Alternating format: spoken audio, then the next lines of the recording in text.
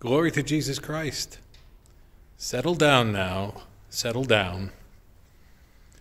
Now, turn to the person next to you and say, You need a faith lift. I am sorry that I'm not able to join all of you. I'd like to greet you from St. Thomas the Apostle Church. I'm uh, in Rahway this after well this morning and this afternoon with uh, all several of the seminarians. We were all out uh, in Hillsborough yesterday where we celebrated a beatification liturgy for one of our priests who was martyred uh, in the 1940s.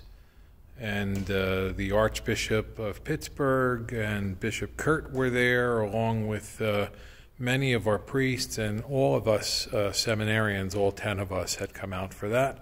Today we've split and had gone to a number of parishes. Three of us and Father Ron have come here to Rahway to St. Thomas the Apostle, where Father Bill, if you remember, has done Bible study in the past uh, for Father Jim Hayer, the pastor here. So Angie and I send our prayers and love, and uh, I'm sorry we can't be with you, but uh, we're with you in prayer and in spirit, and of course we remember and commemorate our dear Father Bill to the Lord, uh, and we ask his intercession. In uh, the book of Revelation, how many know that Father Bill loved to preach the scriptures, and his favorite book was Revelation? So, in the 20th chapter of Revelation, John has a vision and he describes a, uh, a new heaven and a new earth. The old heaven, the old earth had passed away, and he says that uh, this place there was no more pain or sorrow or tears or mourning. And of course, we know that that is heaven and we commemorate Father Bill to our Lord Jesus, who he loved so much, and to Mama Mary, who he also loved with his heart. And uh, we ask uh, them to, to look after him and to receive him into the heavenly kingdom. And uh, continue to, uh, we should continue to gather and to pray and to uh, commemorate him to the Lord's care and ask him to intercede for all of us. Amen. Because we know that we have great intercessors in heaven.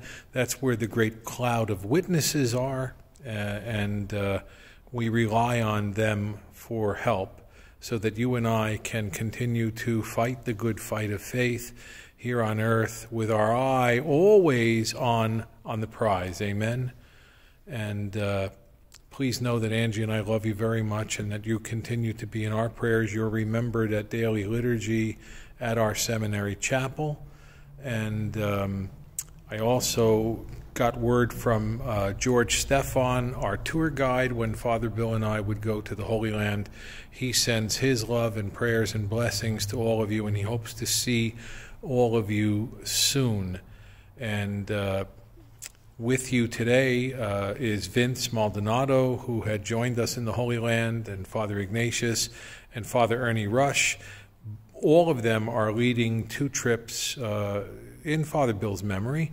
Uh, so it's an opportunity for us to gather again and to remember Father Bill and to make new memories. Father Ernie is going to Italy in uh, March, and Father Ignatius and Vince are going to be with George in the Holy Land in March as well. So call me if you uh, would like to go uh, or visit the website or see either Vince or Father Ignatius or Father Ernie for more information.